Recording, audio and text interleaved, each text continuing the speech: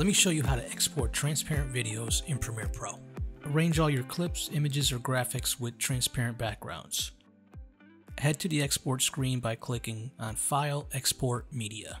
In the Export Settings window, choose QuickTime as your format. Next, scroll down to the video selection and select Apple ProRes 4444 as your video codec. This high quality codec supports alpha channels for creating transparent videos. Click on the More tab for additional settings. Here, select the depth of your alpha channel. You can choose between 8-bit or 16-bit plus alpha depending on your project requirements. I always check off the box, use maximum render quality to ensure the highest quality export. This option can improve your final results.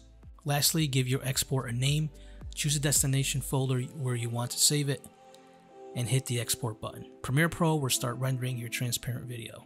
If you found this tutorial helpful, give it a thumbs up and subscribe. Thanks for watching, and I'll see you next time.